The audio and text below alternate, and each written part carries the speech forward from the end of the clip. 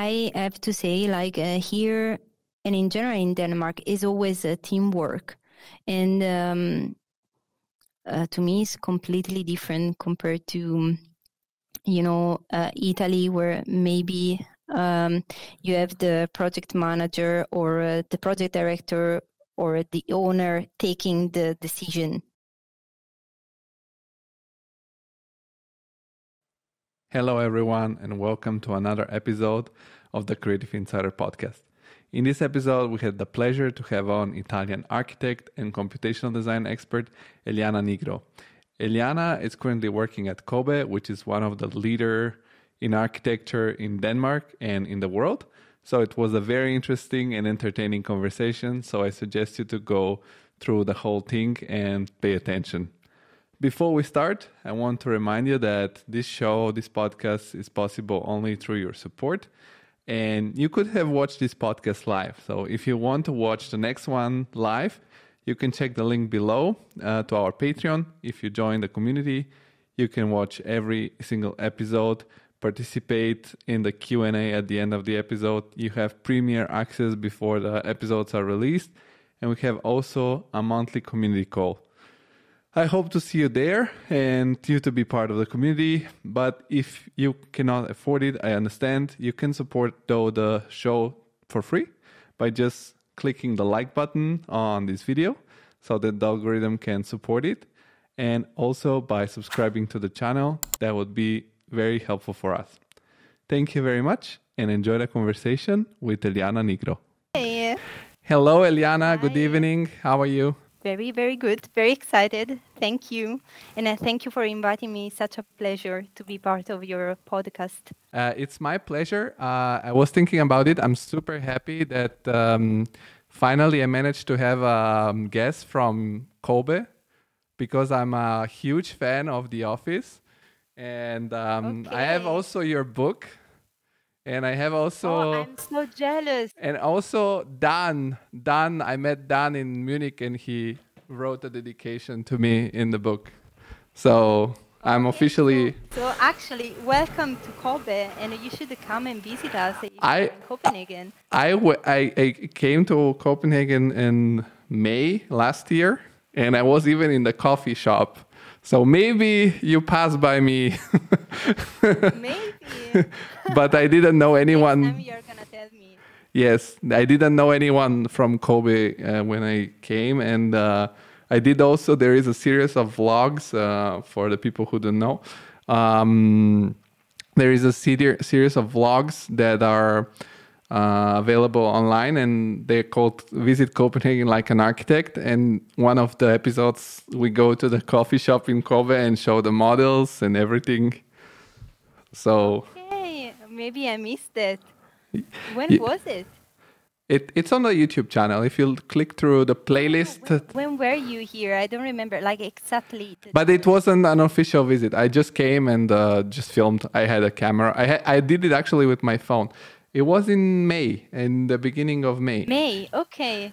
and uh, we were super lucky because uh, it was a little chilly for for May, but I think it wasn't chilly for Copenhagen, and uh, it was very sunny, and then. Um, and it was very nice and we we walked every day 20 kilometers because we visited all the projects possible from every office possible in copenhagen and then a lot of people that i know through the podcast told me oh you see so many things that even me that i live here i didn't know they were they were this building in in copenhagen. So we visit also different projects from from the company from Cobe among others and it was it was very um, nice. And uh, i'm finally so excited because we've been uh, organizing this uh, several weeks months shortly before christmas i connected to you and i was so excited uh, to have you on so welcome to the podcast Thank you. Ooh, I'm excited too. Let's do it. you're um, the um, computational design head of computational design as far as i understood computational design Yeah. expert at um, Cobe uh, if you i don't know if you have listened some of our podcasts but uh, it's also about understanding uh, who you are, not only what you do nowadays, but to understand how you arrived to where you are nowadays so that people Yeah. can get inspired by your path or also like people that are maybe now studying they can get inspired to go to follow your path or people that are on already have some experience may somehow try to change direction and uh, go in your way so you're italian. I'm always surprised that it's amazing how many italians are uh, and you didn't know because at one point I, I like I actually was uh, checking on you and I I was like ah you you probably know because I saw you studied in Italy. And uh, yeah and then you were oh my god are you Italian? And I was like yes. Yeah i never know. Yes I'm Italian because I live in Germany and there are many Italians, but they don't speak Italian because they uh, were born here. So I always have to first ask what was the case. So what was the case with you? Where are you from, and why did you decide that you wanted to become uh, an architect? Oh, an architect. Well, I think uh, more than decide, mm, I think I like to say that I became an architect because of a dog. So when I was a little girl, I was literally obsessed with the dogs. I had, uh, you know, huge posters, stickers, pens, T-shirts, everything with the dogs, and it was a of course, like a recurring theme in my family. And my parents would tell me that we couldn't get any dog because of our tiny apartment. So uh, I would go to the closest uh, Tecnocasa shop where you can get, you know, this magazine with the, the pictures, the prices, description, the, you know, the drawings. And I would go there with my dad and um, I would spend quite a long time digging into the book. Um, and I was uh, very young when uh, the process started and it lasted like for six, seven years. So very long. So my dad was trying, you know, to keep me uh, kind of trying to find excuses why we were not buying certain apartments. And uh, he would tell me, "Hi, Liana, you know, this is perfect. What we are missing a bathroom here, or we are missing a bedroom." So I, I, I really wanted this dog. So you know, I was spending time by trying to fit it in, and uh, at one point I was like just trying to, uh, you know, image my own and do this um, this kind of axo. And I was dreaming big. You know, I wanted the villa with uh, two, three floors. I was also dreaming of having some sliders, the garden, and of course the small uh, house for the dog. Um, but none of these ever, ever happened, and we just moved into another apartment. But I have all these uh, beautiful memories of my dad and I going. Um, into many different apartments in uh, the in uh, in the cities and you know even on construction side. So i have this uh, memory of the concrete from my childhood. But I wasn't dreaming of becoming an architect. So I was obsessed with animals uh, because, you know, I couldn't get the dog. So what I would do with the money that my grandma would slide under the table, you know, at Sunday, like every good Italian uh, grandmother, I would go to the shop and uh, try to adopt every kind of animal. So I had everything, like a lot of uh, goldfish, uh, parrots, uh, rabbits, turtles. At one point, I even got a chicken, but no dogs allowed in uh, in our apartment. So I was this kind of kid having uh, books about uh, animals, and uh, yeah, there were no Lego involved in my childhood. Maybe more clay. I liked more like free forms and do my own jewelry and of course tiny dogs. uh, and uh, I, I, I was dreaming, I was dreaming to become a scientist. I wanted to go in a laboratory and do like crazy experiments and uh, find out something uh, great. But, you know, like everyone, when I turned uh, 17, 18, I started to wonder what to do with my life. And, um, it's a moment where you're very confused that you start to dig into your past and try to understand what uh, yeah who you want to be. And uh, i at that point liked both humanistic and uh, scientific subjects. Uh, and you know i had this um, yeah, still the passion for uh, drawing and this kind of a weird obsession for Tecnocasa magazine, even if, you know, it was done technically, is uh, something I still uh, do today. You know, I go on websites and uh, I love, I love apartments. Um, so for the people and, who know, haven't I, lived in Italy, Tecnocasa, it's like a website that sells homes. so. Yes. but when I was, uh, you know, four, five, uh, till uh, like uh, 13 years old, uh, back then, uh, you, you could just get it like in your hands and i think it was so amazing i don't know i i love it um it was it was so so so great f- for me um yeah so so at the end, you know, I I, I didn't know what to do when uh, no one I knew was an architect, and my parents are in uh, very different fields. So I I think you know I thought uh, maybe I try and I get to know how to put those stones together and do my own villa one day and get a dog. and then you, you didn't yeah. know that in in the end of the day the real estate guy is the one who has the money to get the house and not the architect. But but it's okay. It's also still fun. Still fun. Um, and which part of italy are you from? Where where did you got your education i'm uh, from uh, south. I'm from napoli. Oh the best food in italy yeah. is from napoli. Mm-hmm. and, and and it's so funny because all the people that I don't interview Italians because I aim to. It's just because everywhere there are Italians doing design, a part of Italy, and uh, yeah, and uh, everybody moving abroad. And um, and so you studied in Naples, your university, your education. Yeah. Where did you get your education? I studied at uh, Federico II. So it's uh, yeah, it's the most ancient uh, actually most ancient uh, university in Europe.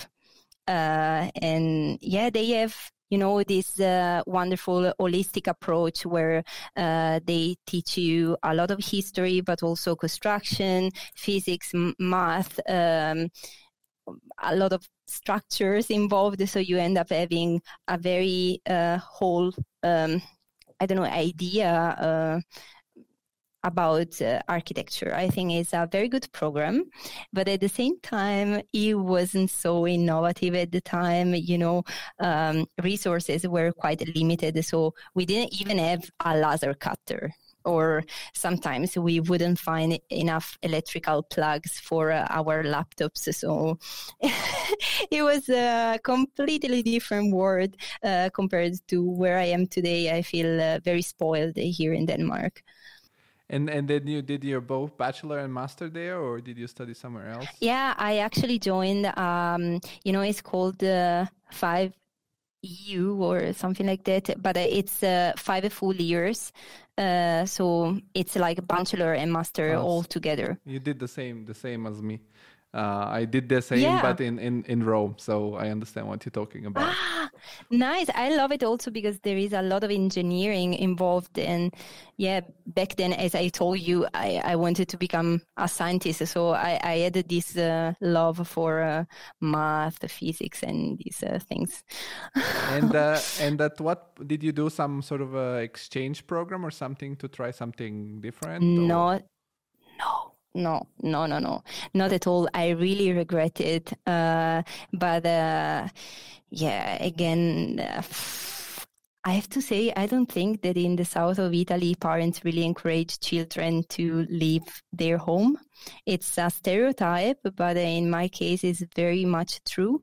Uh, so while I was uh, studying, I was uh, full on into this uh, Italian mentality that you know you just have to perform as much as possible, be super super fast, and uh, finish your studies. So you know, I had the the, the dream of trying you know the Erasmus program, but I wasn't brave enough back then to to even apply and it's something I really regret right now. yeah, but in the end of the day, you managed to to experience it later on. yeah, I know, I know. Somehow, somehow, yes. But uh, when I, you know, every time I meet young people, I, um, I always, uh, especially Italians, I always uh, try to show them how different life can be. And here in Denmark, they have a very different approach. Um, it's uh, super fascinating for me. I couldn't believe it because um, uh, if I'm not wrong, uh, then after high school, they actually have the opportunity to uh, go. It's not really universities. It's like a place where you can experiment what you like. Like you can join something where they do design and architecture, and then for six months or a year, uh, you get started and you get to know what they what they do. Uh, so at the end, you can uh, make an informed decision. Uh, and uh, yeah, I think it's so nice. And here, another thing I really like is that uh, it's something people say very often is take your time. and yeah, it's. Um, yeah, people really experience. I, I feel do many experiences, and yeah, I don't know yeah, is mind blowing for me. They they they take it slower. Also here in Germany, I had the same thing because in Italy there is this mentality that you have to be as quick as possible to finish your studies, and then you have to have this sort of linear linear path towards your future. Mm. And mm. in north of Europe, they uh, maybe they don't they don't have this social pressure, and everybody are more relaxed. And and what at what point of your um, experience in architecture, whether as a student or whether um, or whether as as a professional, you discovered this passion for computational design. Um, and yeah, how did you get? Mm. What was that's that another memory? You? Yeah, go ahead. I'm very curious to hear. Yeah, I. so you know, I, I, I clearly remember the first time I turned on a grasshopper. Uh, and I was just uh, lying in bed with my laptop, very, very relaxed, and I had no expectations at all. Uh, and I started, you know, to drop all these components into the canvas, uh, and I couldn't stop for the entire day. I felt like a kid in a playground. Uh, I was having a lot of fun, and I had this uh, feeling that uh, finally I was finding something that was talking like my brain, which when I say this to people, they're just, oh my God, you're so smart. Not at all. It's a nightmare. I'm an overthinker. And in uh, my brain, there are a lot of boxes connected with wires. And it's always about what else, uh, what else if, uh, uh then, uh, or, and it's, it, yeah. So it was very intuitive, uh, for me, grasshopper. So great for professional life. Having this brain in personal life, not so great.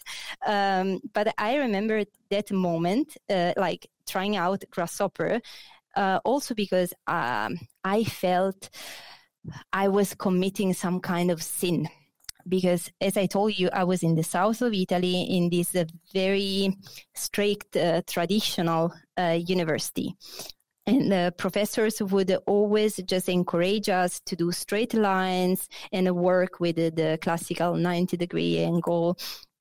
And I was very young, uh, very very young, and I uh, I didn't know what a bad or good architecture was. So uh, I kept it more or less like a secret, uh, but I continued to use Grasshopper because I thought it was very smart. You know, why would you draw something and then delete it and do it, doing it again? Just write. Uh, I, I, I was always like preferring to um, to do some kind of script and then you know play with the parameters. So I would somehow try to get uh, as fast as I could, uh, and uh, I, you. But I was also lucky uh, along my path because there were actually some very inspiring people that I met.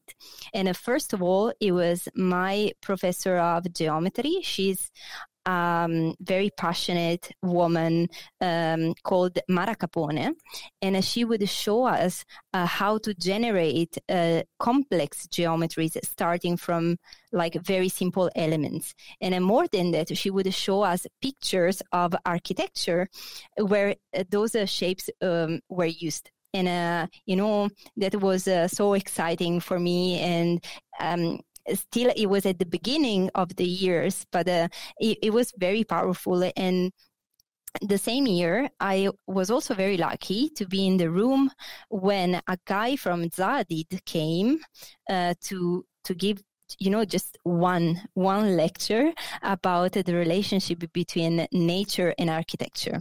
So at that point again animals were coming in. So he was he was explaining you know why butterflies are shaped uh, that way. And uh, you know i am i it was very impressive and i could see there was so much more to explore but it, it was only later, you know, when I was uh, getting closer to my thesis uh, that I found, you know, the courage to came out as a grasshopper person. uh, so seriously, it was like I am, of course, there were like some professors we, which were who were more open-minded so um, uh, some of them they would actually call me in to do competitions with them so there were people who knew, and I had like a lot of friends coming by and, you know, asking for um, some tools. Um, but it was really for uh, my thesis my that I uh, was, you know, trying to get out. Um, and uh, but my approach was very very soft because I I went back to that same t- uh, professor like Mara Capone and I was like, ah, I really like that. What do you think about it? And she actually got so excited and I started to uh, study uh, history actually and all these uh, characters like uh, um, Gaudi, of course, but uh, Nervi, Musmeci, Isler, uh, Candela, the, like they are doing these awesome concrete shells. I was um, yeah, it was so interesting. And then I decided to join the engineering university to take some courses. And I was studying um, finite element method. Um, so I, would uh, try to analyze uh, structurally these uh, like complex shapes. And while like studying more and more and more, then I decided to join one of the first courses by Arturo Tedeschi in Milan. It was form finding strategies. And it was two days, very intense workshop. Uh, and uh, my level of grasshopper was already intermediate, but that was also super inspiring to finally see someone using the software because, you know, back then there were not so many uh, to I think there were no tutorials. It, it, it, there was not so much knowledge about it. So uh, it was very very interesting for me to see um, the the approach and also to start to um, uh, like something so specific and technical like uh, structural analysis and we were using i don't know if you know these plugins like uh, kangaroo karamba uh, yeah whatever i think that was the the first uh, the the very first years the um, what what year was that you know the, Around what year? I started university in uh, in twenty. Oh, I don't know. To, in. Uh, okay, it doesn't matter. You don't, you don't remember, but people could. Oh my god! Two thousand and. Uh, Mm. Yeah, but it, there was not even uh, the first, uh, you know, uh, official release uh, of Grasshopper when I started. So, so I think the first, uh, the if i I'm not wrong, the very first official one is in 2014. Um, so it was a bit earlier than that. I, I've heard, I've heard of grasshopper the first time i think in 2011 i was still in school because i was studying in a yeah, school exactly. i was uh, in the um, um, artistic high school. So I was doing architecture already in school. And uh, I had a friend that was a few years older, and he showed me, he told me, yeah, there is this office in London, Zaha Hadid, and it was very famous in Rome because they are were opening the MAXXI Museum. MAXXI. Yeah, and they were and they were using Grasshopper. And the first time I heard about it was around that year. And uh, yeah, he showed me you can do this crazy mm. stuff and things like that. It's um, uh, it's uh, around the same uh, period of time. So it's uh, when uh, there was like still a lot of excitement and uh, also a lot of uh, misconception about the software.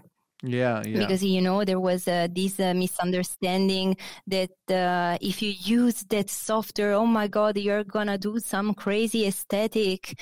Uh, so um, yeah, I don't know. It was not so many people in my school were excited about it. And, um, and you mentioned so, something that once you open it for the first time, it was kind of like working similarly to your mind. Do you have a very mathematical mm. and logical mind, or do you have? Because I always ask this. Like a lot of people yes. tell me that in order to use Grasshopper, you have to forget about how you draw. Uh, like you have mm. to forget about the same way as you're drawing uh, but they also yeah. say, but you don't have to be like crazy mathematics and things like that. You no, that's un- true. But my case is uh, a bit different because I I think I when I when I was doing I was already quite good in 3D uh, modeling in Rhino, and uh, the I think that's why I also mentioned geometry as being something very important to me and that professor specifically because the way I learned, she was not teaching us the software, but just, you know, the logic uh, of geometries. So every time I was uh, modeling something, I would uh, t- uh, think step by step.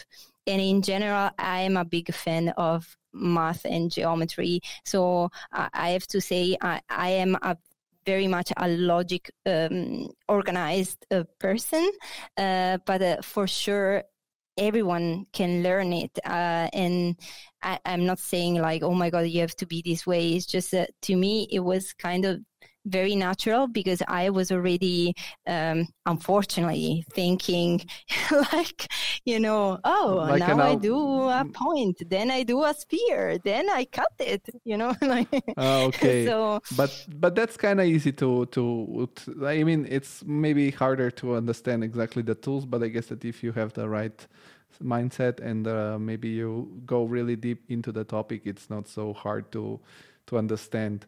Um, and you, you mentioned you used it for, for everything and university, like secretly. Did you use it also to do like any kind of, because you said also in the, in the meanwhile, uh, people um, at your university were appreciating more traditional shapes. And I have to say, for mm-hmm. example, the projects of um, Cobe, they're like some some exceptions have a little bit more of a crazier shape, like uh, organic, let's mm-hmm. say. Uh, because what I appreciate about the company is that it has this very good uh, taste of translating tra- tra- uh, traditional architecture in a modern language that it's not not uh, so cheesy, not so like fake mm-hmm. fake old, but it's uh, yeah. inspired by the old and trans- translated into something that it's modern and relatable to nowadays. Would you model everything in Grasshopper, also like your walls and doors and everything in Grasshopper? Well, or, or well, well, well. Today, yes, but in the past, uh, not everything. Of course, not not everything, um, because of course I was also learning. Uh, but everything for me was kind of a gym. You know, I always wanted to test it out. But there were I have to say there were like some uh, figures in uh, in the school that would let us um, like do some more like um, especially the people I helped, uh, they were like doing digital fabrication uh, or uh, acoustic optimization. So, um, or other people that were into structural analysis. So, um, uh, you know, um, th- especially towards the end, you would find like, um, and you would also choose different atelier. You know, at the beginning, you don't really know. Um, much about the school and then it, mm, you know you you get to talk with the older people and uh, you get to understand a bit more what you like and in which direction you want to go. So then uh, at the end it's actually possible was possible back then to have some people who were who would let you explore explore more. I see i see. And um, at what point in your life you joined the real architecture like professionally because you've worked uh, in several offices. What was your first job uh, where you started working? How did it happen? And Mm-mm-mm. and where your skill uh, skills in Grasshopper helpful in order for you to get this job? Okay. Okay, you have to know that my dream was another one. So when I joined university, uh, my dream was to become a professor. So um, let's say that um, uh, I, I was one of those Italians, you know, that was uh, going straight in a line. And I was like, okay, so after my thesis, then I do PhD, then I do this, this, and then I become a professor. Um, instead, when I got my thesis, then I understood there were like some technicalities. So I had to wait few months before, you know, in Napoli we have exams to enter the PhD. So I um, at that point I was already uh, teaching in school, uh, and um, but uh, you know when you follow some courses is never full time so i had some time and i was like how can i invest my time what can i do? I want to like uh, you know I, I, was again in that mentality. I want to be efficient. I want to be efficient. So i found this uh, post graduation master in a UAV in venice um, that was uh, having courses only during the weekend. And uh, I sent there my application, and uh, they have like some kind of selection. I got in, um, and uh, I started this uh, crazy period of my life because I would take a train and I go from Napoli to Venice, have my weekend of courses, then I go back, have the lectures at university. And since I wanted to be super efficient, I would, uh, you know, uh, study also for my architectural license on top. And you know, okay, I was young, I had a lot of energies, but I ended up being exhausted. I I I was re- like it, it was really a lot. Um, so at one point, I decided, okay, I need, um, you know, to take a choice. And um, I spoke uh, with the, the professor, and she was actually very kind because she let me, you know, collaborate only for articles kind of remotely, you know, from Venice. So I could move there. And uh, that was very good for getting more and more skills because this master is called MADI, uh, and is about digital architecture, so advanced technologies. And we would study NURBS modeling, um, polygonal mod- modeling, so not only Rhino, but also uh, 3ds Max, Maya. We would uh, do renderings with V-Ray and uh, Corona video animation, coding, Grasshopper, Arduino, and you know, the resources were completely different. I to me, it was a paradise. I could finally, you know, use an actual 3D printer. yeah, like it, it was absolutely amazing. So that was another huge uh, chunk, uh, huge step into skilling myself. Um, and also when I was there, so many doors um, open up for me. Uh, so so I was at that point um, kind of um, there is this title in uh, university called cultore della materia is is um, kind of a, an expert, a specialist, and uh, I was specialized in uh, geometries. Um, so uh, um, it was kind of a bit easier for me through UAV to find uh, connections to other companies. So first, I my first actual job uh, was with a museum. it is the Museum of Caorle, and I would do this um, 3D modeling of ancient weapons. So something something else like. Uh, it was no architecture, but That's it's crazy. actually really yeah like i don't know like i would never think of doing something like that i, I I don't know, but I loved modeling. So I was like, why not? And it was actually really, really useful because you get to model some shapes that you don't normally do in architecture.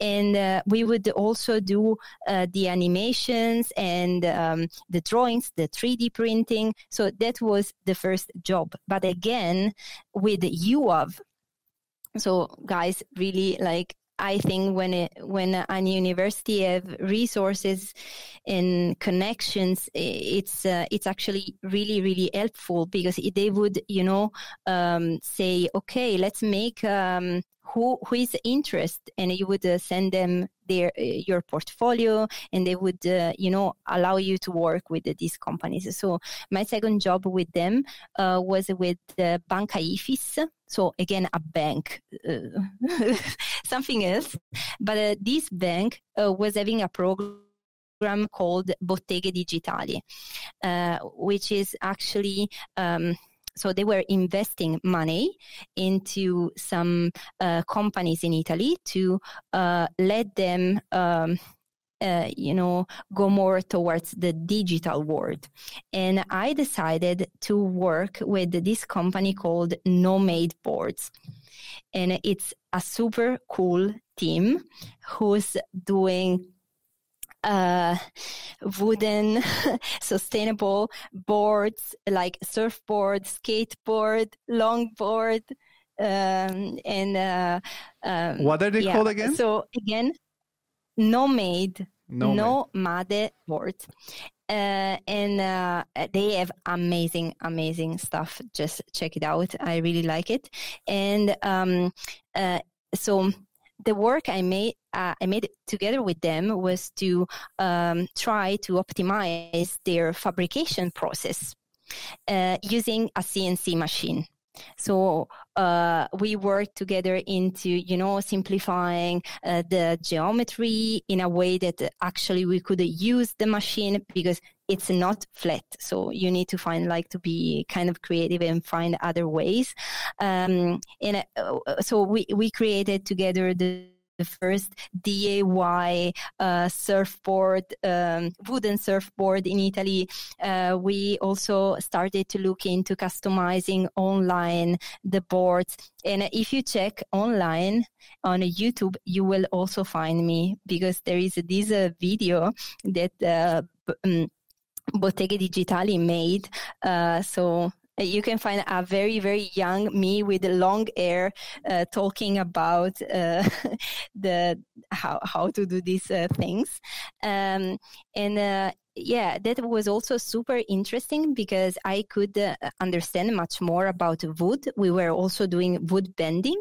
And um, especially uh, i was bringing you know the digital into reality. So i learned so so much especially because the machine we had back then they made it themselves like they made the cnc so you know you we had some some kind of big tolerances that we needed to consider.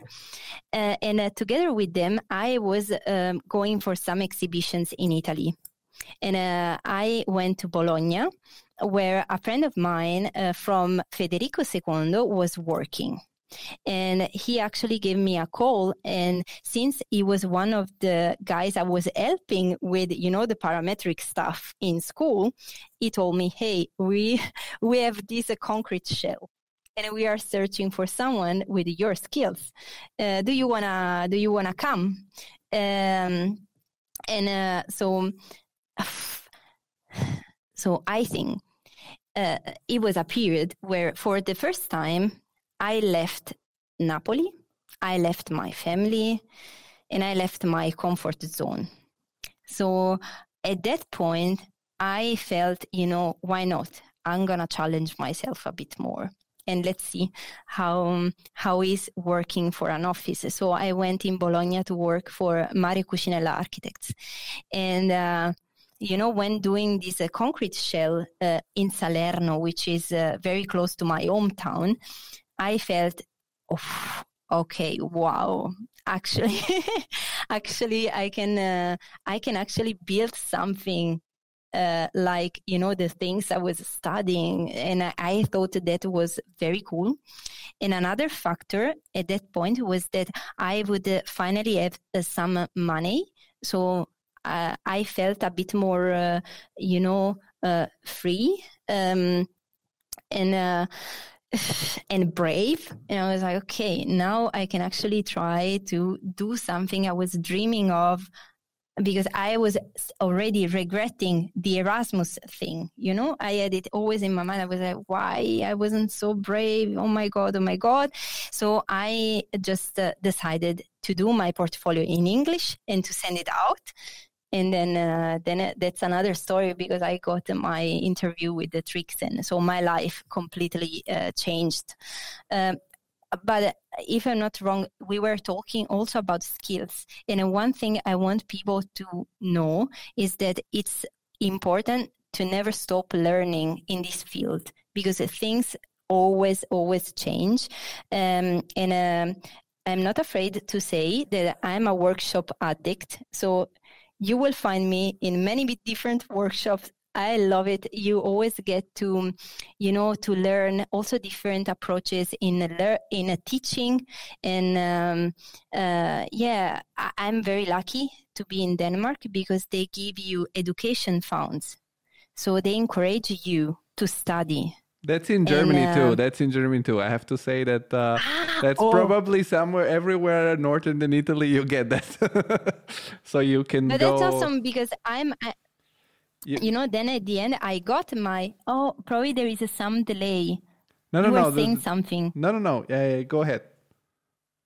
Okay, but uh, uh, so because at the end, I, you know, in Italy, I took my license and I'm part of the union there.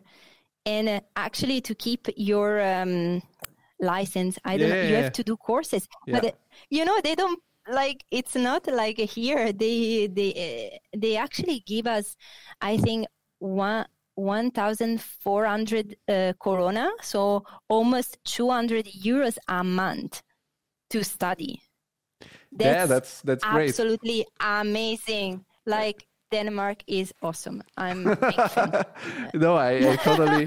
I think it's so funny to listen to your story because you mentioned like that the first time you went um, oh, like you got out of your comfort zone was when you moved to Bologna. But for me, listening the story of you studying at Madi during the weekend and going back to teach, it was already quite crazy. So I think it's so funny how um, funny in a sense, ironic that people are doing something super extraordinary for many others, oh. but in their little world they don't see that it's so um, that that it's so un- an exceptional that because uh, not everyone would uh, would do it. And I was curious um, in this whole story that you have told until now, which is for me personally very interesting and very impressive. Uh, beside all the architecture, Thank how you. how was your social life? Did you have time to do anything else but architecture? Well, exactly. That's uh, you are completely right. That's the point that's the absolutely the point because I like you know I shared with you all those uh, fun uh, memories of childhood with uh, the dog and so on. But the truth is that I'm um, I'm actually coming from let's say complex or a difficult um, uh, upbringing. Uh, so um, uh, so when uh, when I was uh, a kid, then when I was a teenager or young adult, I would um, kind of cope with the high stress environment by uh, creating a very safe bubble around me. So um, already when I was very very little, I would study a lot. So. Um, with um, so uh, it's not that I was conscious about it back then. I can tell you about it because I, I did a lot of um, of work on myself, and uh, so you know the books have a beginning and an end. And uh, as a as a young person, uh, studying is something you can control. so at least I had something I could rely on in uh, in my life. So that's why already when I was in um, in high school, I had you know very high rates, and I I, I would uh, get the teachers to like to let me tutor other other people. But reality is, I wasn't doing much out of studying uh, and that's very sad. I it's another thing I I um, uh, somehow regret. Of course, uh, I my parents would uh, try to push me to do some uh, sports, but I always found uh, studying much safer than anything else. But I, I don't think you should. I mean, yeah, I don't I don't think that regretting something is the right word because in the end of the day I think um, it's everything we do. It's part of. It's a piece of a puzzle to where we get now. So if you got yeah. where you are now and um, um, yeah, it's it's yeah, beautiful. I understand to, what you're saying. It's, it's sometimes I was thinking about it today that uh, I think the m- most hard hard uh, moments and hardship uh, in in life a person has had the, the happier they are on a daily basis. Because when you have experienced mm. something really hard or something really difficult or something really bad that has happened to you once and maybe and you know they say this thing that is super cheesy if it doesn't kill you makes you stronger. But i think it makes sense because every day for example i have experienced some hardship and every day that this hardship it's not happening i'm happy. Because today i think okay today everything mm uh, could have been yeah. way wronger. It's than, a relief. yeah, it's like it's okay. It's like it can go way yeah. way wronger than than what it is now. So yeah, but um, it's important because um, you know you can spend your time. You have a limited amount of time. Everyone gets the same amount of time per day, and you can spend it. You know, you can put your minutes only on certain things, and then if you didn't put all the the time that you have put in learning these things, you wouldn't have gotten where you're now because you have gathered these yeah, skills. I and, know. And I know. I'm actually, I, I, I think the same. Uh, but uh, I also want to be honest because uh, um, I think, of course, like um, uh, today when I look at it, I'm like, okay, I'm very thankful for all the work I put into into studying. But uh, it, it's also very much uh, true at, on the other side that while growing up, I would uh, I would also feel uh, different, or I would uh, you know kind of I don't know have these kind of uh, feelings. Um, also yeah ah but yes i understand what you mean and um, it, it's uh, very much true and uh, I, I am also very, very thankful for the previous version of me. And um, I, I, me personally, as a person that gets to know you today, I can tell you that uh, uh, you should look back with, um, you know, with, of course, uh, when you distance with time from events that are in the past, you can uh, appreciate them more. So with appreciation, and uh, that everything that you have done it's it's been it, it wasn't uh, wasteful. And talking about yeah. you leaving napoli for bologna i experienced so i was born in bulgaria so then i moved to italy. And when i was 23 moved to germany. And despite it's just one hour flight it's a very different world and you have to adapt a lot yeah of course. to the local culture.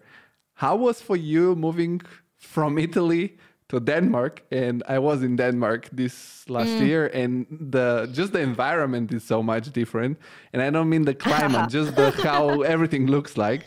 How was for you moving to well, Denmark? And uh, yeah. Mm. Okay. Mm. Well, first uh, thing I am. Uh, I survived because I got a lot of rainproof uh, equipment before coming to Denmark. No, um, I actually had the feeling uh, to to be home. Uh, so it's true, Napoli is beautiful. Uh, it's uh, it's also very different. It's very chaotic. I like to say that it's a crazy, crazy city. Um, but um, I don't know. Sometimes uh, I I really love I really love Copenhagen. And after I think two days of moving here, I felt I I didn't want to leave. Uh, you know, it, it's especially sorry i'm doing this sound oh no we are not on tv uh, you can talk as you we were in a like we talk like we were on, on a coffee table and drinking a coffee yeah. or a wine or a beer so you can do all the sounds. Just tell me the story. I'm interested in hearing it. No, but it's it's uh, weird because you know I'm Italian and I'm supposed to feel uh, somehow and not very similar to this society, but uh, sometimes I think I'm more similar to Danes than uh, to Neapolitan somehow. Like for sure, I'm probably much more um, um, outgoing or uh, um, I don't know some stereotypes like like that. But uh, I I really like the fact that uh, here people have so much respect for. Um, uh, for people and uh, they are so kind and uh, everything works and you know when i was going in a university I, it's technically 15 minutes from my place to the university. I had to start to go there two hours in advance because you never know if the train is coming. You never know if it's too full. And um, I, I, don't know. I, I think then um, when I moved here, I understood how much stress uh, wasn't in, in, my daily life. I, I feel that life is uh, smooth, and um, you, uh, I I like it. I like uh, taking my bike and um, being able to go everywhere, uh, and uh, this gives me a lot of um, you know a lot of freedom. And as a woman, I finally fe- feel you know i don't need anyone to protect me. I can be in the middle of the street at 4 a.m. and and I feel safe, and this means a lot to me. And also the fact that um, you don't feel that the people uh, are uh, judgmental. Um, I feel very much um, like f- free of being whoever I am when I'm since I'm here. So um, I don't know. Yeah, I think uh, I think I, I understand I what you mean. I wouldn't be here. I think I understand what you mean. Like um, um, I as a as a person that's like adopted Italian, let's say, because I as I told you I have a different background and I just grew up there. Um, it's uh, it, to me Italy. It's a very particular pr- place in every single aspect. It's like very. Uh, it's the it's the place of the extremes in my opinion. There is extremely mm. nice thing extremely bad things uh, exceptional things. And it's so you can see it because there are also a lot of people like you that um, i'm so fascinating that i talk to so many people in design and architecture that i didn't know. And i didn't i didn't know you. I have to I, I go and look for people. And then i found a lot of italians that are doing some extremely exceptional things that are so mm. high level and i think it's such a pity mm. that the um, culture of the country it's not uh, keeping up with this yeah. uh, with this uh, people that are so so many in italy and it's crazy uh, but for example yeah. when i moved here i there is this uh, this guy uh, i don't remember what is the name of the guy, but he wrote a book, um, "The Subtle Art, or, a Subtle Art of Not Giving a Fuck," and he ah, yes. he lived in many countries, and he says the best of one country is also the worst of one country. And for example, mm. I love Germany, but you have to, for example, in Germany, you have to always like mm, there is no room for spontaneity you know like you have to for example if you yeah. want to meet up with friends you have to tell them in advance you cannot be just yeah. like oh today i feel like going to have a beer and they're like mm, but today I'm busy, but I could do it in three weeks. so, so, but in the other, on the other hand, in Italy, everyone is spontaneous, but they're always spontaneous. You tell them we have to do this and meet this at this time, and they will say yes. But if it's gonna happen, it's uh, really uncertain. So, uh, so I think every, Yeah. ev- everything that is so good, it can be also the the worst. And and when I was in Denmark, I felt, I mean, compared to Germany, uh, regarding the efficiency of transportation in the city, it's not so much different. I live in Frankfurt, so it's among the most livable cities in the world. But what I notice is that I think the people in Denmark uh, have a different character because there is a different climate in a different environment, and they have sort of built these uh, living rooms as uh, like public living rooms, as, Yeah. as Cobe says, to even enable the possibility to interact with other people. Because we went actually to all the libraries that Cobe has designed uh, in this uh, different neighborhood.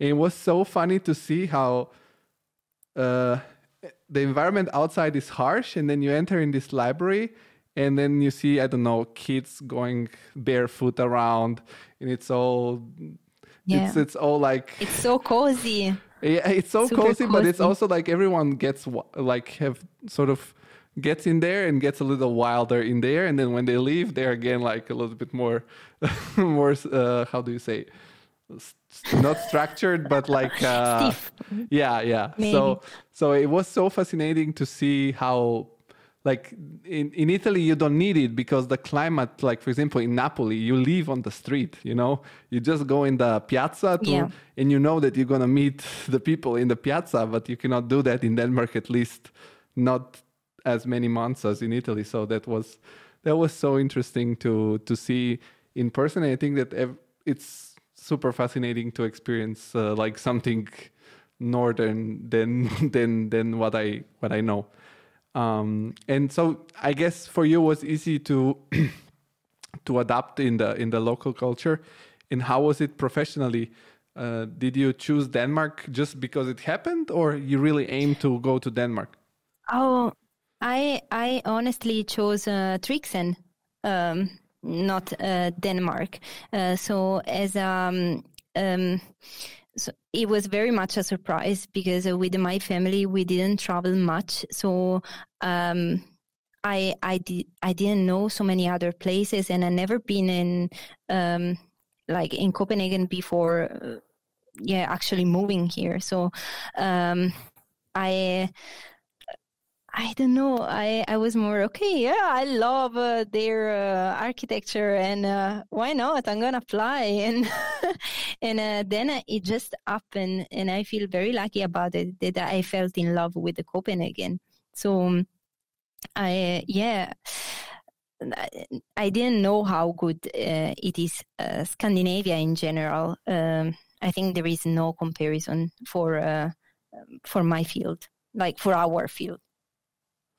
And uh, how was it? Prof- like, what ki- what kind of role did you get when you moved to 3XN? You were So I was already an a- architect because No, you applied uh, as so a. I I would Yeah, wait a second. There I is a think re- there is a some, there is some delay probably. some delay. No, but Um, I just uh, I sorry. If you if you want, you can try to refresh the page and enter again, and maybe it's it's gonna be better. Yeah. So few minutes and we're back. Don't go away. Uh, if you have any questions, I saw Apostolia was really active in the in the chat. So here you are. You're Hmm. back. Now it's better. I see you better. A chat where people are uh, writing. How does it work? Uh, yeah, because for the few people that are in the Patreon group, they are uh, have the link for the conversation. So usually uh, they they they send the questions for the final Q and A at the end. Usually in the end of the Okay. podcast, I'll read to you the questions that are coming from the chat. Um, Okay. so it's it's there are some interesting questions. But uh, th- let's first finish Yeah, the okay, okay. let's first finish I'm the story. Um, but uh, I can tell you about it. So uh, when uh, so I was very much unprepared to uh, do any kind of professional work interview because uh, till that moment as i told you i uh, it was more like okay my rates talking for me my professors talking for me and um, some kind of connections, it was always revolving around academics. Uh, so it was actually the first time me interfacing uh, really um, um, such a, a, big international office, and um, I I wasn't I wasn't ready for it. I uh, I remember I was in the very south in Calabria with basically no Wi-Fi when I got their email, and I just you know I was there connecting uh, the laptop, very old laptop with my phone, and I didn't even know and think they would you know ask me to to talk about my portfolio. I, if I think of it, I'm like, oh my God, how young and naive I was. And uh, it, we, had that, this uh, very bad Wi Fi, and every now and then it would just uh, stop. Uh, it was, I thought it was really, really terrible experience. I thought, oh my God, I performed so bad because also the English I had back then was only coming from school. So I had already this thing like, hi, I'm at Liana, I'm uh, uh, studying, no, studying, I'm uh, working for uh, Mario Cucinella Architects, uh, stuff like that. Um, and uh, and I also remember uh, the people I was having the interview with, Jesper and uh, Laura. They are still there, and they were not smiling at all. I thought, oh my god. okay, at least I made an experience. Next time I'll know how to do it better. But somehow they send me, uh, you know, uh, a message, uh, an email uh, two hours after, and then uh, they told me they wanted me to join them as soon as possible. So then I don't know. Um, I got this uh, this contract, and when I was reading through, I thought it was uh, too good to be true. Um, um, it, you know, here in Denmark, like right now, the office is basically empty. At five um, in in or even four, we we are done with work. And I remember when reading in my contract, I was like. this is impossible. Why are they even writing about it if it's not true? And uh, uh, I remember in, in seriously, I couldn't believe it. I didn't know anything just to tell you because I just jumped. Uh, I wasn't, you know, um, uh, this wasn't planned. I, I just, I just wanted to try out. Uh, yeah, I don't know. I wanted uh, to challenge myself and to grow and to to make my English become better and, and stuff like that. Um, so yeah, it, when I moved, I remember my brain was melting. I don't know you in Germany, but you know, um, luckily it's uh, 3XN is really, really international, so it's like full English. But uh, I remember these uh, like weeks or uh, maybe first months where I I was really like just listening a lot because it was so much work for me to uh, I don't know to to switch from Italian to English. It was uh, yeah. Um, but now here I am talking with you on a podcast in English, so very do, proud. do you do you know some Danish too? No, very few words. I heard. I actually listened to. Um, is is she called Dalila, uh, the other Italian architect living in uh, Copenhagen? Uh, no, maybe I'm wrong. But I um, so I had a completely different experience compared to this um, this girl because um, being in an international environment, uh, actually, Official. yeah, you don't need much uh, Danish. So I know the important words. So to cheer, you say "skål." no, I know I'm learning because I wanna, you know, re- um, yeah, you mean that Danila? I you, and I wanna stay. You meant Danila? Danila, we had her on the podcast. Danila, okay, okay, yeah. okay. Yeah, everyone has a different experience because I mean everyone has a different life, and that's the beauty of it. That if I interview another ten architects that moved to Copenhagen, they will tell me everyone a different story. So that that's the nice part of it. And um, how was Yeah. how, how was working in in uh, a part of the the language and everything? I totally understand you because when I came here, I arrived as an Erasmus student, and then I saw everybody at the at the university were working as uh, interns in other offices, and I thought, oh my god, they must be so good in Italy. I didn't even know how an architecture office looked like. Uh, but then we started doing the classes, and uh, and um, and I was like, but they're not so good. They're not geniuses. They just speak German, so I have to learn a little bit of German and uh, try to land a job. And uh, then I started working for a company, and they they were paying me. I remember 11 euros per hour. And I was like, this is crazy. I'm making so much money. How it is even possible? And they would make me do like um, all the Photoshop for competitions and things. And I was like, and this is even fun. If they asked me to do it for free, I would have done it for free, but they're paying me. So I totally understand what you mean. And I had the same uh, difference to really be focused of what they're speaking in German because my German wasn't that good. So I would have this uh, friend of mine of university who was working in the same office, and I would ask him what did he say, like what did the boss say, but in English, so that I know what I have to do. And uh, it was crazy adventure. um, so what were your first tasks? What were your tasks? What were some projects that you worked on? That maybe you can share about. Some of them maybe are built, so it's not secrecy I- anymore. Yeah. no, but uh, I think there is another good thing about Denmark, which is um, uh, flat management. So uh, it's not very, um, I don't know if you say hierarchical or hierarchical. Anyway, um, you um, you always feel you have a voice. So uh, people trust you and they give you responsibilities. And best of all, at the end, everyone is gonna always say thank you and be very kind with you, uh, which is something I really, really admire and like about Denmark.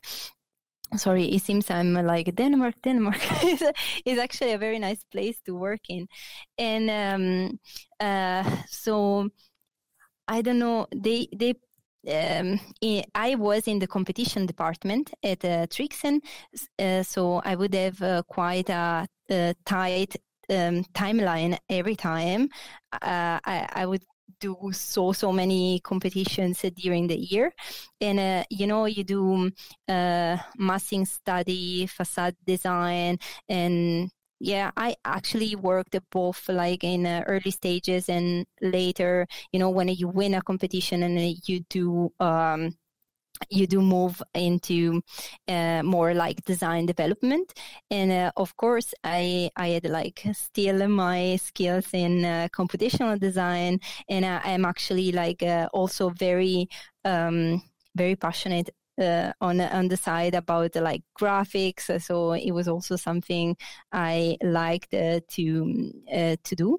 But uh, you know, in in um, in here, they do understand what you're good at, and then they try to give you all the opportunities to to improve, get more skilled, and you know, just perform as much as possible for for for the company. So, for example, like I don't know. The first I'm um, the first uh, thing I'm thinking of, of when I think of 3XN is uh, the um, Shenzhen uh, Museum uh, in uh, China. So I've been uh, working on that since the very beginning. So since it was very much a secret, uh, a competition, and uh, you know that's a 100,000 square meter museum, and uh, all of that is parameterized. Uh, so uh, I, I was like working full time because of and you know about it when you work with uh, with the clients and especially when uh, they are from asia there is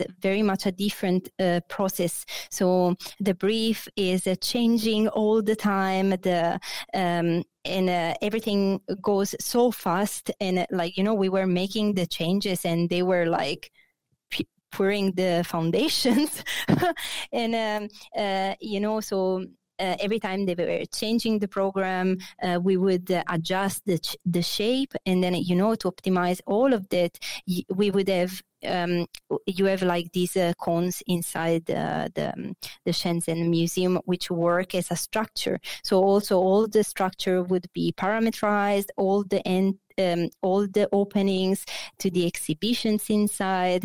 Uh, we we had like at the beginning a lot of ramps, uh, then a lot of stairs. So uh, I don't know. There is um, it's yeah. I I turn in uh, being of course um, uh, very much in my field, so in uh, computational design.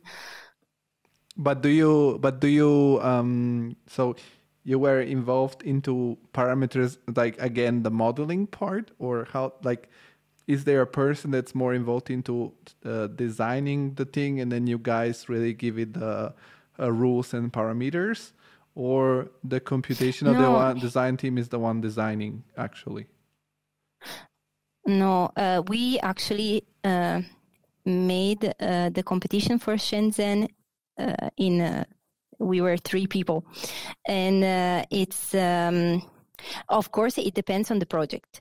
Uh, but uh, for that kind of shape, uh, I uh, maybe it was a two phases competition. So at the beginning, um, you use more uh, computational design in order to extract data like uh, square meters, volume, or uh, I don't know, some other technical things they were interested in, or to like model very fast um, some interiors or some features.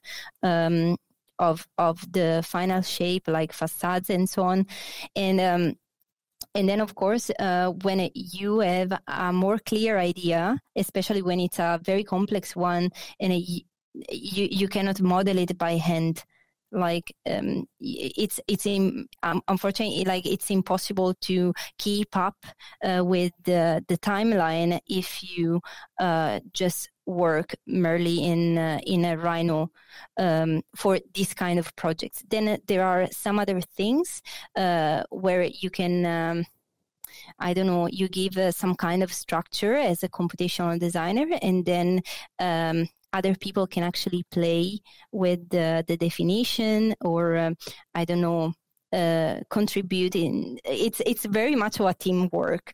Uh, and and uh, it's ever changing because you know projects are never the same and during my career i've been very very lucky because i worked on very large range of projects. And uh, were these people that were in team with you, all of them, they were uh, computational experts, or there is no one person? So how does it? Because I always say this: it's super. Like for example, it's super intimidating when you go and, for example, if people Google, I mean, we can maybe in the edit put some images of this uh, museum that everybody maybe have seen him seen this museum somewhere because it's so it was all over the place when it got released the first images. And it looks like uh, this uh, i don't know snake dragon because it's also about natural natural history. So it looks like really like uh, it's a very yeah. interesting shape. Um, and so you were very uh, skilled in computational and um, and Grasshopper, and so on. Uh, in what what kind of expertise did the other people have? In a in a team, um, usually, what other so, uh, experts? Uh, one of them. So one of them was uh, much more into uh, pure management because you know uh, there is also a lot of work to do into interfacing the client uh, but uh, let's say I, I feel you always uh, find some kind of balance you know? There is uh, maybe someone who is uh, more searching into the story behind the concept um, uh, some kind of uh, vision images. Everyone would of course sketch and i can help with the sketching.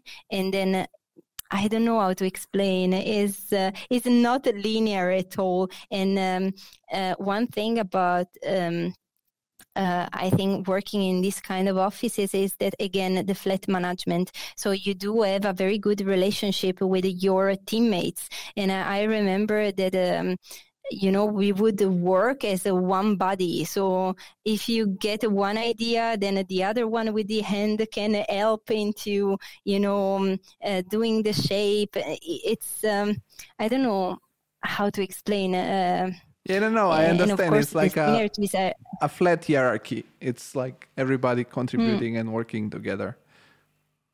yeah. And um, no, that's that's because we have had also uh, Fred Fred Holt. uh, Probably you know him. He his partner at 3XN. So uh, he also told uh, told some things about the company. But you know, when you ask more people if the if the path is recurring, then it means it's true. So it's good to ask you too. And um, It is. It is. and, and, and at, at what point did you um, had the opportunity to move to Cobe? Because when we were in Copenhagen, it's so funny because through um, through the podcast, I one of because there are so many architecture offices in Copenhagen. I know a lot of people now that work in Copenhagen, so you know they would tell me stories, and it's not so uh, not so. Because there are so many good offices, so people switch. Um, at what point did you have the opportunity to to move to Cobe, and how did you decide to do this next move? Yeah. So, uh, as you said, it's uh, very, very common in Denmark for people to uh, move uh, and to uh, just uh, do different experiences. And I feel that all the big international offices are somehow a family. So you get to know everyone. Like when you go to parties, you're just like always meeting everyone and uh, um, I decided to uh, to move to Cobe in 2021, uh, and it was uh, basically. Uh, let's say here in Denmark, it was already better with the pandemic, and I think we have been quite lucky uh, with it. Um, but at the same time, it was a moment of my life with and uh, I, I'm sure this is the same for many other people where where I thought you know I couldn't uh, travel much or I couldn't do any other kind of experience that would uh, help me grow. Uh, so that was also a moment of life where I I again wanted to challenge myself more. I wanted to to see different ways of working. And uh, let's be clear, I was always uh, admiring Cobe very much, and I was keeping an eye on it.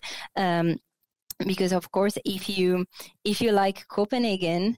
Uh, uh, somehow lo- you you end up loving Cobe because Cobe has been uh, having such a big role into the transformation of Copenhagen into a bustling, um, democratic city uh, designed for living. Uh, so I, you know, I, I, I right now I live close to Norreport station, so close to Israels Plads. When I go for a swim, I go in Kreuerplatz. And in summer, and if you didn't do it, do it, and it's also quite affordable. I rent uh, a boat with my friends and we go around the canals and the area i prefer the most is where Papirøen is and where our opera park is coming so uh, you know i could ex- experience as a person um, uh, all these uh, outdoor uh, living rooms, and I could really understand how Cobe could have uh, somehow a very deep knowledge about the background. So uh, another thing that really resonates with, um, especially my um, previous experiences and um, um, the academic world, is that these. This study, this understanding of the um, of the background, the historical traces.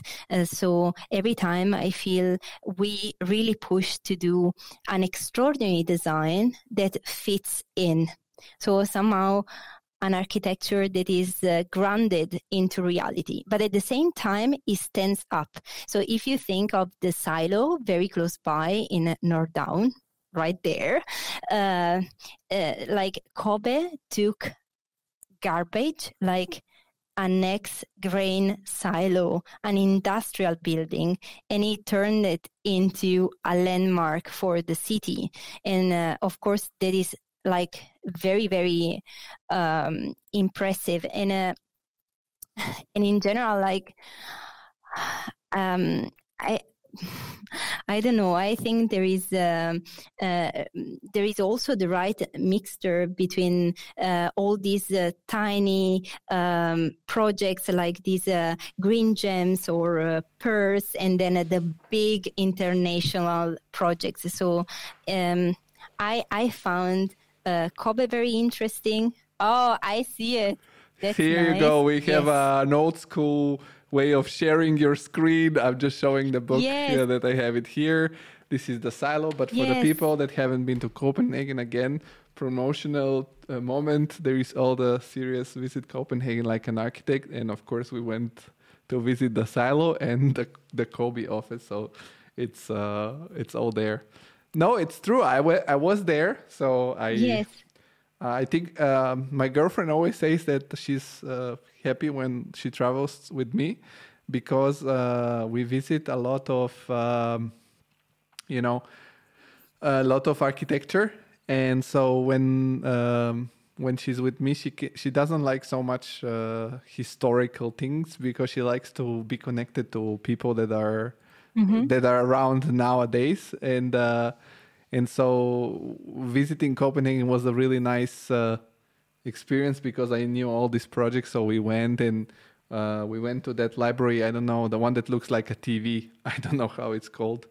Um, the one that's out of wood. Yeah, oh, I have trouble saying uh, in the proper uh, Danish. But I I know which one you're uh, talking of. Maybe later I'll show it in the book. But we went there and we sat and we smelled the wood and we read some books inside, and it was so beautiful to just experience uh, to just experience the, the exactly what you said. And and we went to we we were we saw the construction side of um, of paper island uh, because it was but it was quite complete already. It was quite it now now probably it's almost finished. Yeah it was so fast it was very impressive because I was always biking there to go to tricks and and you know it would just grow grow grow so so fast so fast.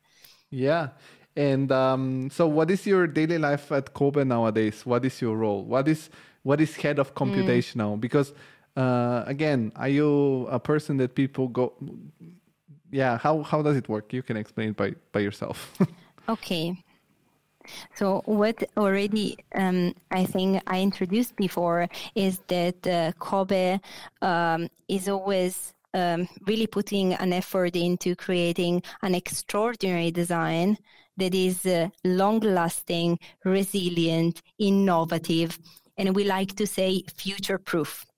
So, uh, as a company, if you want to be future-proof, then you have to look also about on you know the way you are working so the workflow and to have a future proof uh, workflow you actually need to use i believe computational design because what we do is uh, actually using scripts to uh, to um, to to work in a fast smart clean efficient uh, flexible way. And so um, okay, let me think about it, how I can uh, explain it uh, to you. So, uh, so um, the work th- uh, that we do is to try always to um, analyze what are the, let's say, brainless, repetitive tasks that uh, are actually slowing down people.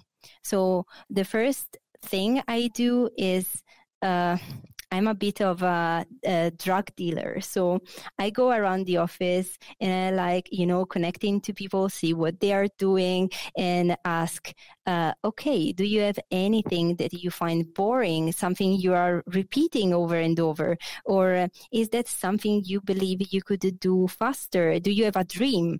And uh, this uh, first interaction uh, actually many times brings uh, me, and I, I want to say us because it's always, of course, teamwork to, um, first of all, realize tools that can help in the everyday life. Um, and if you actually think about it, there are things that very simple things that you repeat over and over into projects. So let's say you will always have some kind of stair, ramp, balustrade, um, just talking about simple elements. So why should you do the same job every time? Why should you, yeah, just uh, draw it once and then the client comes with another idea and you have to do it again? We can just uh, like work into completely cutting this kind of a brainless work. At the same time, we use computational design for more complex uh, things. So um, uh, if you go through our website, um, I think uh, it's very hard to get a full overview of what Cobe is because, of course, as you said, we do have so much that we cannot share. Like there is so much going on. And for example, uh, one thing I've been very involved with is an awesome but also very, very secret project, which is in one of the biggest cities in the world and it is a 650,000 building. So it is not a master plan. Like everyone knows that Cobe is good with urban visions. But this is a mixed use building. So you do need that extra layer that the computational design is giving uh, to model in a smart way. So we make sure that we always check all the data. We make sure that all the facades can be updated. We make sure that even in such a large scale, we can go to the human size. And, uh, you know, you have to make sure that uh, you create this kind of perfect machine that is like very, very smooth. So uh, in, in this case, of course, it's been a, um, a longer process. So it can happen, as I told you, that I just like interact with one person or one team. So I work as a, a consultant for a short amount of time. It can also be a few hours because, you know, if you need to just like um, uh, have a balustrade done, I can just, you know, change a few things in a script and give it to you. This is also something I really like, like giving power to people. So you don't need me. You can do it yourself. You change the parameters and you can actually get whatever design you, you prefer. Uh, and then there is this other kind of work with more like complex projects uh, where I actually need to follow the team for a longer time because there will be so much work coming in many different aspects. It can be also for environmental simulations, so daylight analysis um, or uh, optimize um, um, adaptive facades. Uh, so, uh, well, um, it is very, very flexible because um, I, I, I like to say I have my doors open. So there is this uh, a policy where everyone is welcome at my desk uh, or to send me to drop me a message and just like you know uh, tell me a bit what what what they are dreaming of.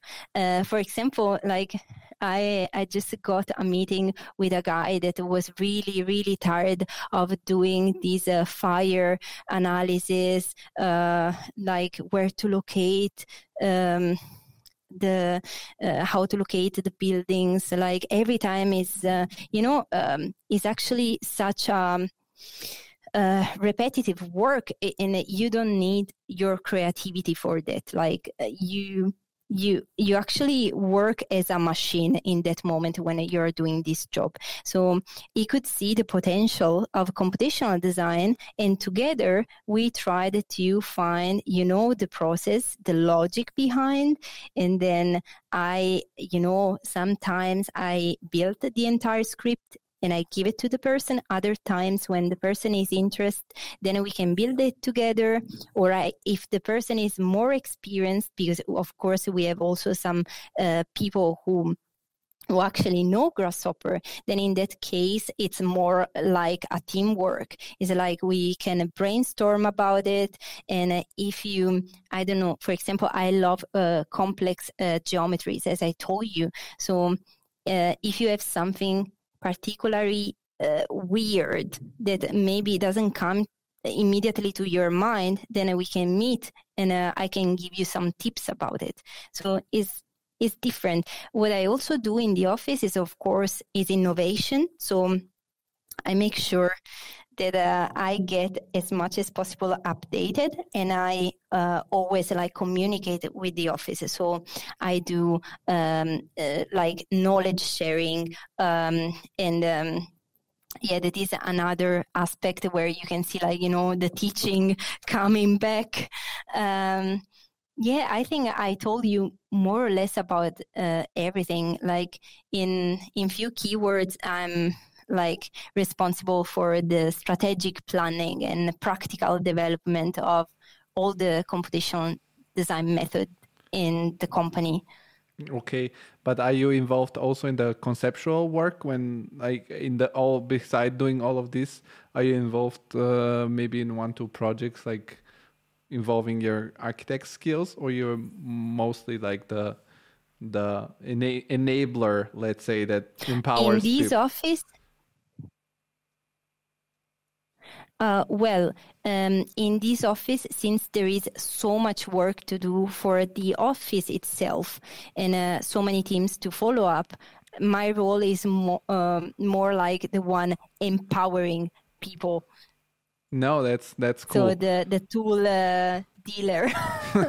you shouldn't call yourself a drug dealer as you come from Naples because somebody can uh, take it seriously. uh, it's, uh, it's just a joke. It's just a joke. It's just a joke. And uh, I'm curious, um, in your opinion, what um, I guess that that's a very the part of the culture of the country in Denmark that there is. I mean, I don't think that there will be uh, office that there is not a flat hierarchy and not uh, you know all being uh, equal and uh, you know uh, listened to because it's very it's the culture of the country right it's very democratic very empowering everyone yeah. and giving a voice to everyone um, what um, I know I, I, I, learned while I was there, even if it was just for a week, that uh, that it, there is there is not a lot of acceptance for people that are too much uh, like the rock star or the the solo players. Uh, but That's what true. But what is the what is the role of of Dan in in the in the in the spirit of Cobe? Because it's he's the creative mm-hmm. director. He, he, he's the founder. Um, is something that he has sort of uh, um, implemented, or is the whole team that somehow it's always constructed to achieve these um, these results that are so typical for Cobe? Like Cobe has this aura, this spirit that if I think, uh, uh, if I wanted to see, uh, as I said, the most uh, fitting project for that for that place, I would think of Cobe, no other office. Despite all, there are other offices that are very good and uh, but do different kind of work mm.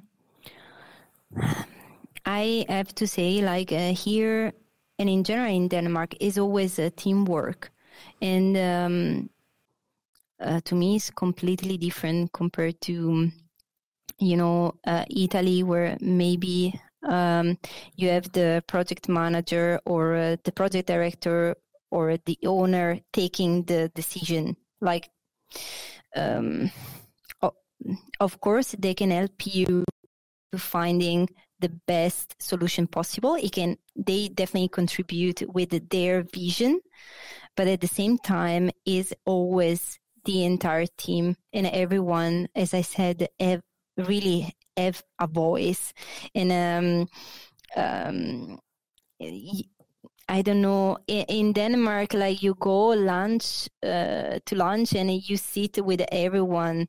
Um, it's um, you really feel there is no difference between people. Of course, you have different responsibilities.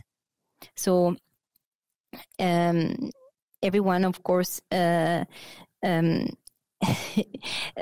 is a is a different role in a way, but this doesn't mean that uh, everyone doesn't have don't have power. Like I, I don't know. I think it's very hard to explain if uh, people didn't experience it because uh, to me, if someone would tell me about it when I was in Italy. I I don't know if I could uh, ever imagine a place where uh, I don't know you have such a beautiful harmony within an office. It's um, and yeah. is there internal? Uh, is there internal? Like for example, internally, a lot of offices have shared with me on on the podcast in the conversation that they internally have like this um, time schedule to for example someone for example you are very good at grasshopper and you do an hour or two hours workshop to teach the others how to use uh, yeah. grasshopper uh, is there for example also some workshops by people that are more involved into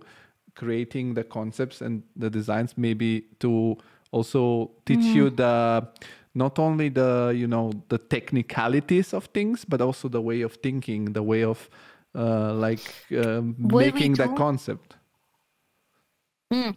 What we do uh, here is that uh, um, once every two weeks on a Friday, having breakfast, everyone um, um, is welcome to share. So you do have um, an hour office meeting where people are also talking about, you know, how the concept um, worked and what inspired them, and you know the full story. So then, this case, you can like really understand the way other people think and how the project, um, why the pro- project is in a certain way, and that is like uh, some kind of brainstorming where you you learn about these let's say other uh, abilities yeah that sounds interesting. That would be because you know i understand that every like this is very uh, in germany it's also like this you always speak up uh, especially because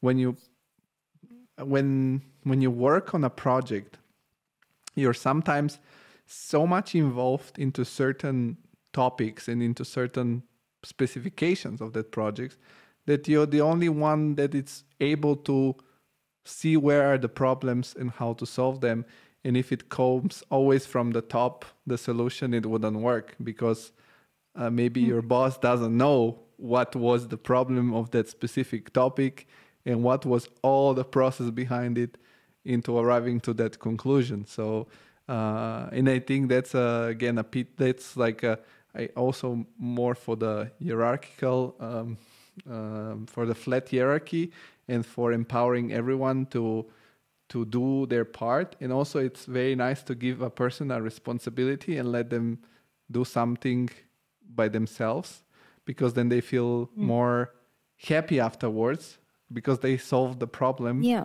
Uh, and that's also something that I think, for example, you said you go and try to, you know, um, optimize uh, the process, right? You have you you try to uh, see those uh, tasks that are tedious and uh, to to improve them.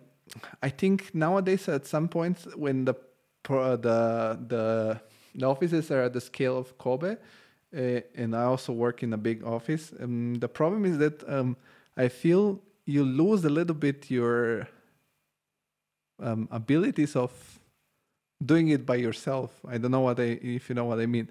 Like for example, if there is a certain way of working with Grasshopper and Revit and everything in Cobe, uh, if they give you a pure Revit or a pure Rhino without all the enablers that have been created, it will be very hard to use.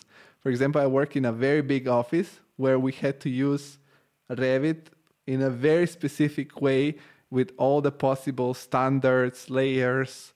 Uh, the, for example, we had a BIM manager who, who would set up uh, everything for you, and you would just need to make the walls, and uh, it was like playing The Sims. And I thought, this is yeah, it's nice for the company, but it's not nice for me because if you were to give me Revit in my own hands, uh, yeah, I would come up with a solution, but it wouldn't be so quick. Uh, so I don't know. This uh, these things is nice, but it's also like uh, I don't know. I'm a person that likes to be also to to know how things work. So if I were to work uh, with you, I would be constantly telling you, okay, Eliana, let, let's go through this parameter. How did you do it? I want to learn the, from scratch. Yeah, but I loved it. I loved it. And there are definitely people who are interested in learning.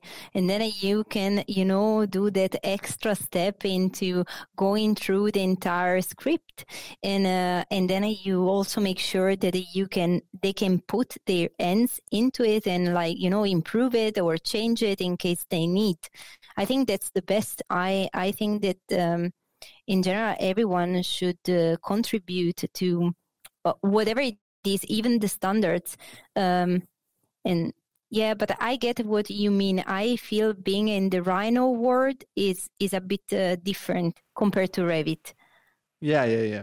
No definitely and um, I was wondering, I'm going to ask you this one last question. I'm not going to keep you, and then we're going to go through the questions from the audience so that I, I want yeah. to let you go home. I don't want you to stay super late. uh, but no uh, when we go after the one and a half hours, it means that the guest is super interesting and uh, it's Oh my God, is it? I oh, told you, it's it's it flies. I actually thought we were going quite fast. Mm, yeah, yeah it's always like this uh, that people think it's go, it's just a few minutes that we're in, but we're talking for for a long time. Um, for example, I'm a person that is interested in many topics. Uh, this is why I do a podcast and I do things online because it's something interesting to me. But in the same time, I'm very interested into I don't know Grasshopper or into architectural design or into graphic design or into video editing or uh, into learning a new language. So I would love to do all this stuff and I'm more like a person that um, I'm a, a, generalist. I think that I could uh, quickly pick up Grasshopper and understand it, and but maybe not get at the level that you are. And uh, but I can do a lot of things, you know, like I can do a lot of things at a quite okay level, but I don't know. I always am curious for more. And do you think uh, you're um, do you have are you more like a vertical skill person that like really loves you love to be an expert in this thing is it like do you have other curiosities that you like to it's not a bad thing there is a book it's called okay, okay. so so good they can ignore you and exactly telling you this get super good at this one thing and nobody and, and it was your case because a lot of people contacted you to work with you because they knew you were very high level expert in that specific thing. So, what is your opinion on this? Yeah, you're a very yeah. vertical expert. Okay, okay. So, um, I am uh, more like a bit more like a vertical maybe person. So there is like the boring uh, part of uh, how I get inspired, which is like, okay, of course, um, talking with a lot of people in the office, getting updated, and then like being updated on the other side with YouTube, LinkedIn. I also do a lot of that on the side and talking about slightly more fun another step like i like um, you know, uh, I like getting creative um, uh, when I work on something uh, much more fun. Uh, kind of when I can imagine myself as a this big kid in a playground. Uh, and uh, I don't know if you saw it. Um, this project I worked with my friend uh, Marc Antoine is called Fungus Among Us, and we did it with parametric architecture. And I was imagining, you know, myself just climbing and jumping from one wooden mushroom to another, and somehow when when uh, you kind of um, get that uh, playfulness and you have fun uh, while designing, somehow it gets, um, I don't know, it, it gets some success. So it's been like I don't know if you this, but it's been two years that the parametric architecture is using this uh, mushroom every time they want to do some advertisement. You know, if you have to subscribe to the newsletter or like the Black uh, Friday and so on. So uh, I think um, something I really like is. Um, in architecture is uh, trying to think as a kid, having fun. Uh, another thing I get inspired with, again, among the boring one, I'm going like step by step, um, is uh, of course um, uh, teaching, which is like uh, a big uh, is is very important for me because you get to connect with people and um, I don't know you I don't know, somehow the, the human uh, part like uh, kind of stimulates new ideas. Then out of work, uh, I actually learned here in Denmark to have work good life balance. So to connect a bit more the brain with the body. So I do something that is completely unrelated and probably you just need to shut down your brain. And uh, I do, I, I dance. I'm not good at it, but I do some Afro dance and Bollywood dance. and then now I started um, a course um, where I, I learn to sing. So I don't know, it's how, how are you doing with very, the singing? Very, very different. How are you doing with the singing? Uh, I just started, but uh, I'm not planning of becoming a singer. Okay, but uh, but the next time, the next time you come to our podcast, you can uh, show your skills in that uh, in that field. exactly, exactly. I'm gonna do some kind of uh, you know dance and sing, and we can learn computational design in a different way. And um, so to conclude, I want to go through with the questions from the audience. Yeah. There are three questions. Uh, they yes. come all from Apostolia. She's always very active and she comes up with this um, interesting question. So uh, you can decide in which length you want to answer to the question. But the first one is Wow. Um, do you think the quality. Okay. Do you hear me? Hello? Yes. So, I'm being. Uh, very focused. okay, first question. I'm going to read it to you. Do you think the quality and the originality of architectural projects in the last 10 to 20 years are better or worse? And in what extent do you think computational design plays a role in this? So it means is computational design making architectural projects more interesting or less interesting? And what what do you think about mm. this bef- compared to the past mm. well i i think that the, the design goes together with the technologies and uh, you know in general the knowledge uh, i think that in the past especially being italian or maybe greek in her case i don't know the name yes, sounds yes, greek, um, but there she's but um, there are like uh, extraordinary things uh, in the past that uh, uh somehow I'm still very fascinated of. And uh, when I go in these places, uh, you know, you really wonder how how they managed to do such a thing. Like still, some of my favorite designs are like old Gothic churches. um, and uh, I I don't think that uh, just uh, using computational design uh, allows you to make sure your uh, design somehow looks um, uh, better. I believe it, it, always depends on on the person that is behind the. Um, the machine, the person who is making the script. Um, for example, like when I uh, came for my interview at Cobe, what they told me is that uh, um, it was very hard during the years um, to find someone that was doing computational design with a, certain um, aesthetic, uh, because sometimes um, um, when but, uh, it's not that I'm against uh, to it, but you know, there are this kind of exploration with the computational design that lead to um, um, a certain aesthetic that is um, sometimes um, very different compared to mm, uh, to the architecture that we do here. So I don't know. I I believe uh, it's us as humans that give the power to the computer.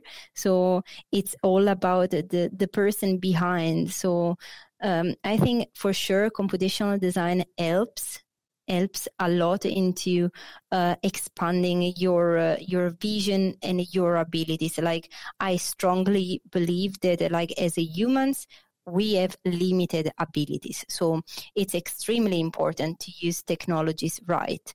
Uh, and for example right right now no we have ai amazing like the um, like uh, it's the way it's evolving is really remarkable.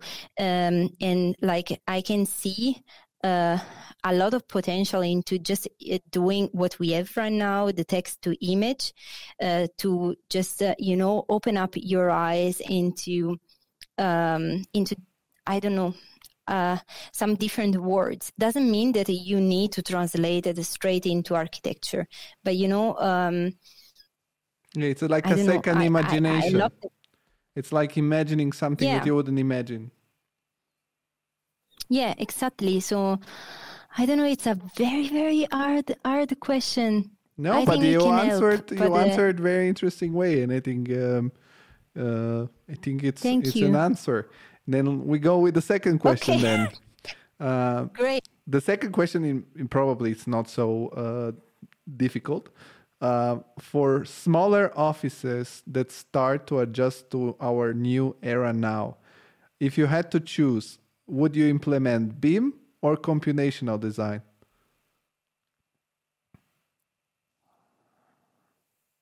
Ah. oh, I have one side. Well, you can say your side. I, That's a question uh, for you. This,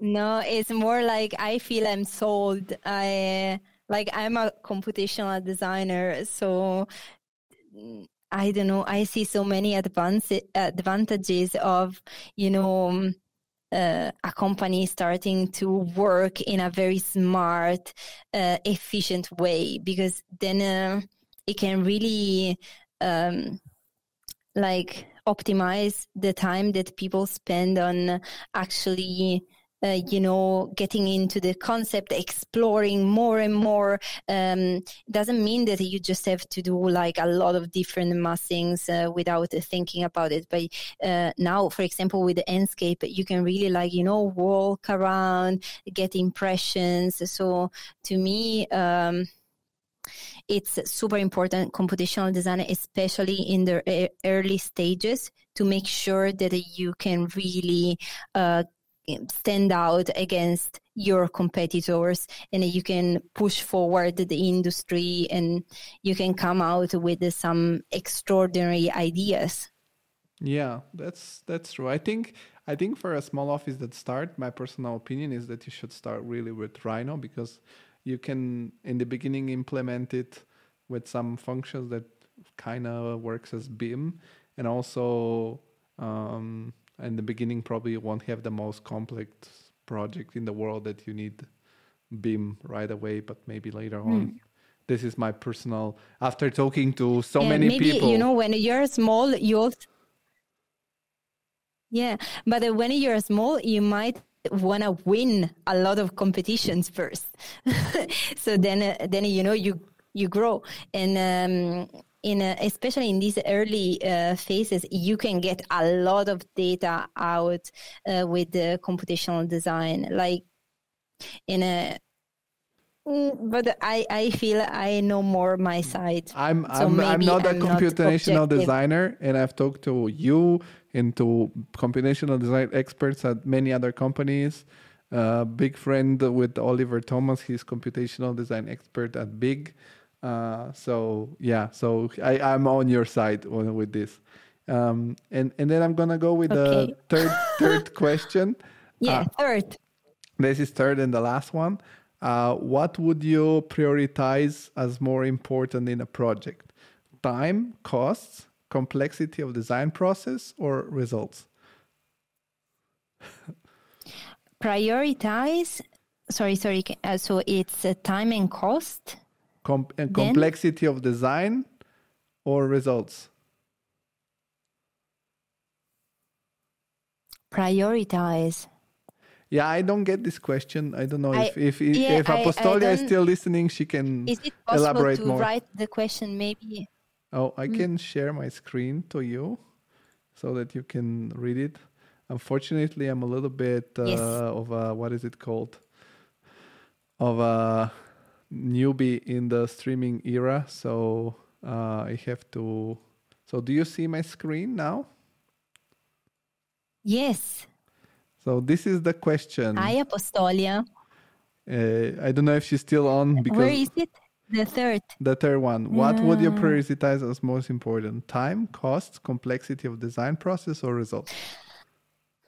But I, I, okay, if I get the, I don't know if I get the question right, but to me, time and costs go uh, together. Because, you know, if you reduce as much as possible the time you spend on a project, then at the end, you're gonna uh, gain more because maybe you can uh, use the same people on another project or uh, um, yeah you you maybe win the competition so but maybe maybe she uh, means also costs of the building. Maybe she means also costs, ah, like also costs. Uh, uh, or maybe uh, Luca is suggesting in the chat that maybe it's connected to the Ah. to the second question, or maybe he's right.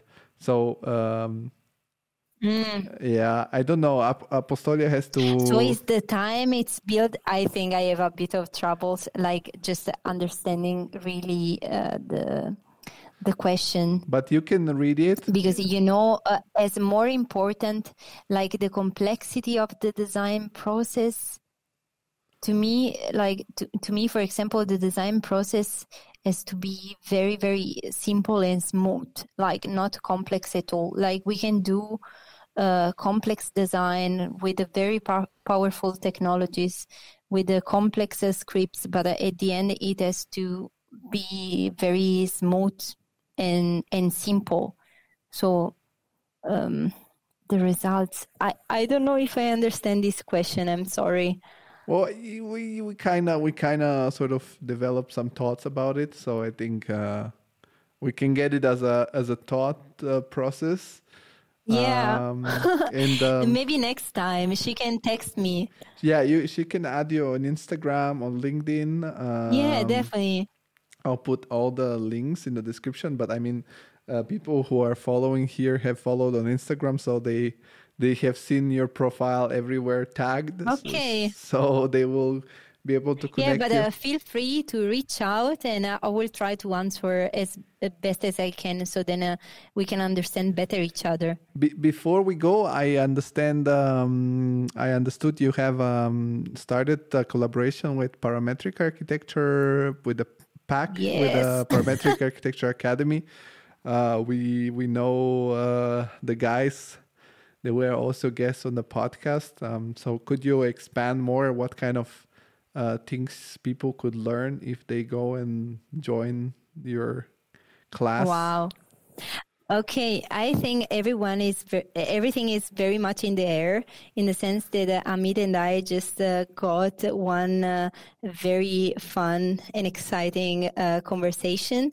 I already uh, knew Amit, like we met uh, two years or more ago because you know of this fungus among us, um, and we were like keeping already in touch uh, and I'm a big, big fan of a parametric architecture, and I really recommend to uh, people to follow their courses because you don't only get like some uh, theory and practical knowledge, but you end up really having a mm, something that you can put in your portfolio, for example. Or in my case, I, I do have a, portfolio full of like beautiful buildings of like tricks and Cobe, but at the same time, it's it was it's so nice also for a professional to just you know get creative and think out of the box.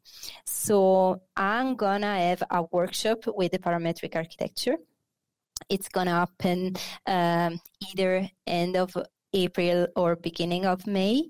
Um, I have in my mind a topic, but uh, um, since, as I told you, I really believe in uh, uh, playfulness and um, you know thinking of these uh, spaces that you can explore even as an adult in a somehow uh, kid kid way. I, I think I will do something related to that, but I'm I I still don't know, but I'm sure it will be shared quite soon. We just, uh, yeah, we are gonna have another talk, and then I will be able to, yeah, to talk a, a bit more about it.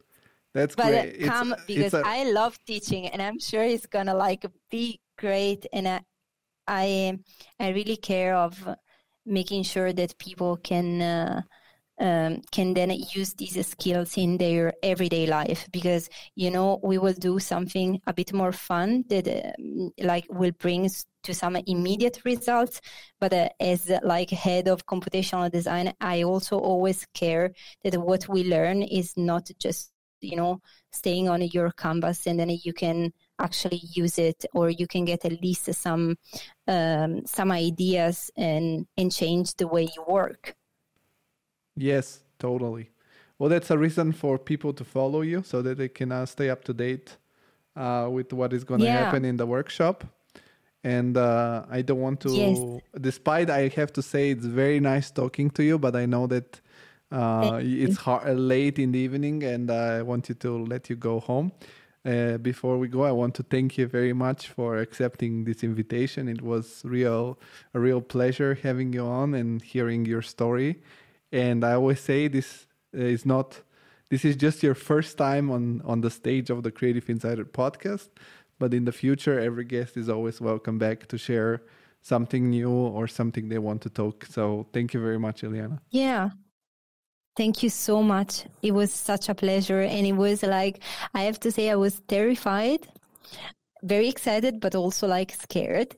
And uh, you made it like so easy. So thank you very much. That's that's Thank the you. goal to have fun. So thank you. Uh, Yes. Have a nice evening, everybody who connected, and um, bye bye. Bye. Ciao.